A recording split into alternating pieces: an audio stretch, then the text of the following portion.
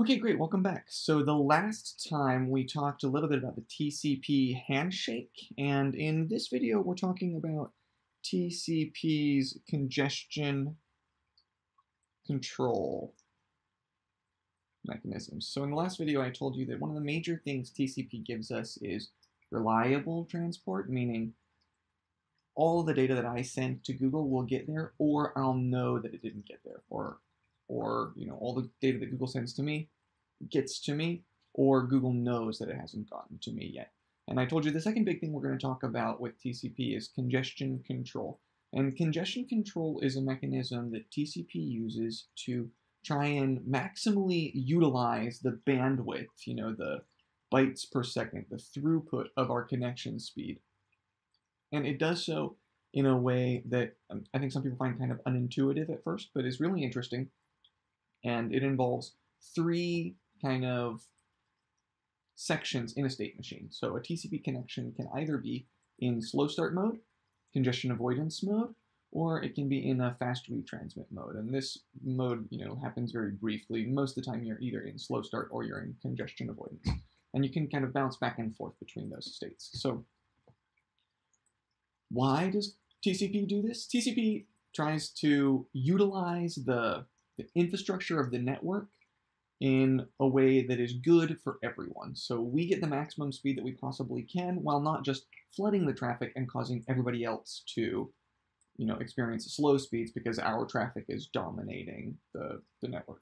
So this is unlike UDP and some other transport layer protocols. TCP tries to maximally utilize the resources available, you know, for physical infrastructure. And what this looks like in practice is every time you start up a TCP connection, you know, you do the handshake and then you start transmitting actual bytes of data. And you start here in slow start. And so let's say I'm in slow start mode. I start at one maximum segment size, which is, you know, part of the handshake figuring out how much the maximum segment size should be. But basically, I can say one packet at a time, okay?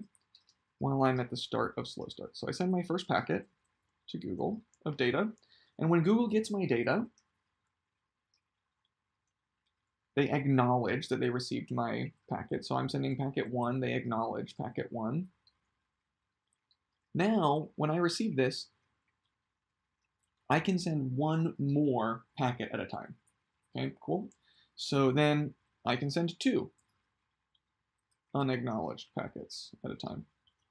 And then let's say these two come back and everything's good, hunky-dory. No data drops. Then I get a plus one maximum segment size for each of these two packets that come back as well. So, you know, I sent packet two and packet three. They acknowledged packet two and acknowledged packet three. Now I can send two more. I was sending two, now I can send four. So, you know, let's say I send four out, two, three, four, and those four come back. One, two, three, four. Then I'd get, you know, four more plus ones. Whoops. plus one. And now I can send eight. So this is exponential growth. First I sent one, then two, then four, then eight, then 16, then 32. So, you know, this is just the two to the n exponential function during slow start. Okay, so I look like this. Mm-hmm. And I do this until one of two things happens. The first thing that can happen is, you know, a bad thing. Let's say one of these packets gets dropped. And I receive, you know, a timeout. I sent a packet, it never came, an, an acknowledgement for it never came back, and I time out. In that case, I restart slow start. And you know, I start again from scratch, and I lower a value, which was set during the handshake, something called the slow start threshold. Okay, so I should draw that on here. Say this line was our slow start threshold. If we drop a packet like this before we reached the slow start threshold, which is some value in terms of bytes per second that was established during the handshake. You can read the RFC for those exact calculations if you like. But if we drop a packet before that, we lower the threshold. and then start slow start over again. So we'd lower it, and then we'd start again from here. The speed would drop like this. This is in the case that we lost a packet, and our new slow start threshold, you know, somewhere lower, and we'd try to do slow start until we got to that moment. Okay. In the other case, everything goes good, right? And we reach the slow start threshold. Then we back off a little bit. We were doing exponential, you know, two to the n, one segment size, two segment sizes, four segment sizes, eight segment sizes, so on. We're gonna slow down now to avoid congesting the network. You know, if we just exponentially increased our speed always, we're surely going to be putting too much traffic on the line. So what happens after we reach slow start, or after we reach the slow start threshold? Let's erase some of this. I'll just erase the whole lines.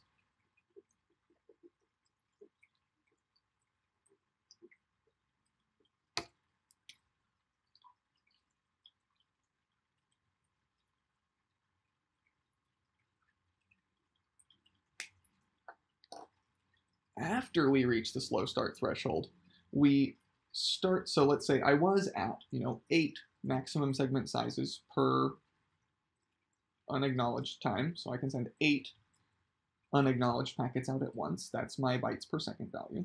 Let's say that was my slow start threshold. Now, when I send out the next packet of data, and my current value is eight maximum segment sizes, when that packet of data gets acknowledged, my speed increases by 1 over the current number. 1 over 8 maximum segment sizes. So if I had sent 8 packets out, and all 8 of them come back, then all 8 of them add up to 1. So if this was, you know, times 8, this was times 8, then this is 1 8 times 8, which is 8 eighths and I get plus one. So after sending out eight packets and receiving eight acknowledgments back, now in the next round, I can send out nine. Okay, so probably should have switched to another color. This is congestion avoidance. And so it looks exponential during slow start, and then it starts to look linear after that. Okay. Then you know, will always increase until a packet is dropped. So let's say finally down here, I'm at, you know, nine maximum segment sizes, and I send a packet out and it drops.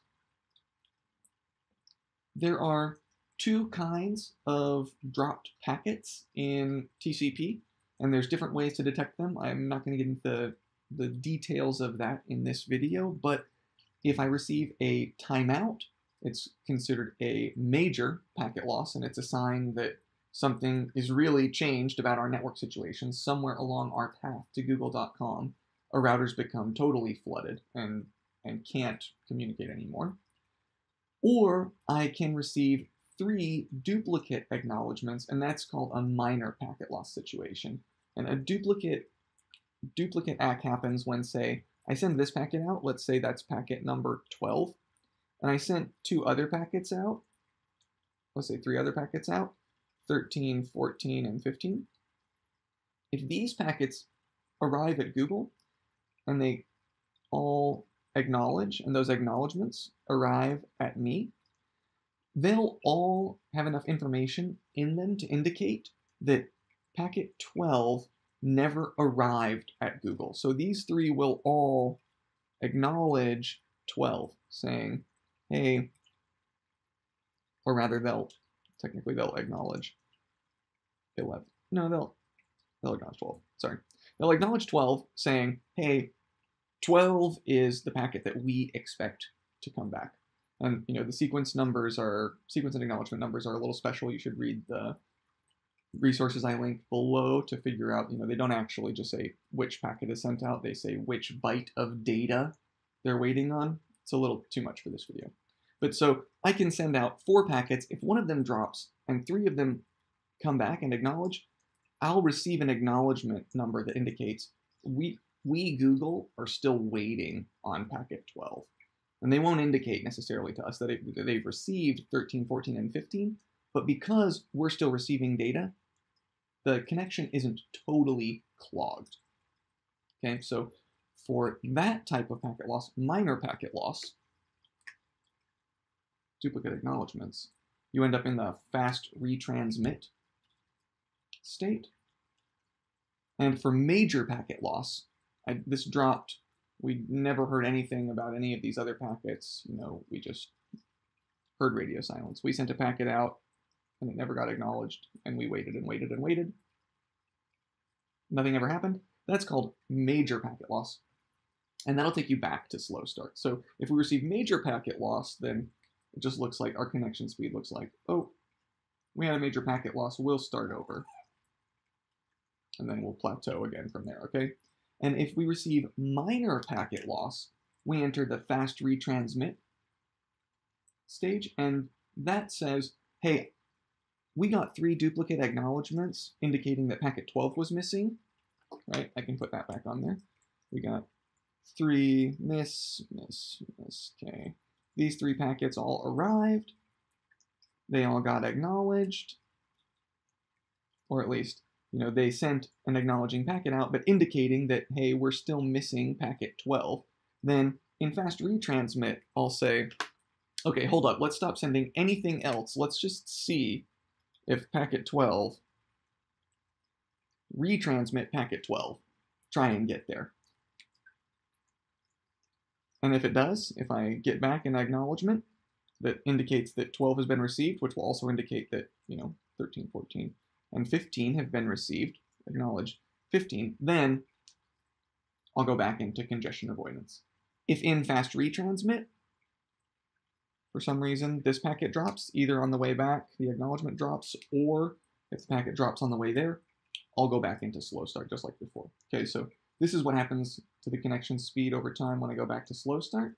And if I do fast retransmit, then really what happens is I, I basically just continue to grow. I reduce my speed a little bit and I continue to grow. Okay.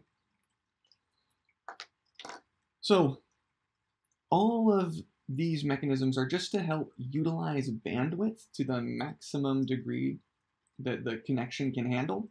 And we're always probing to find out if there's more bandwidth available. You know, TCP connections never aim to just stop and plateau in a flat line where they're not growing anymore.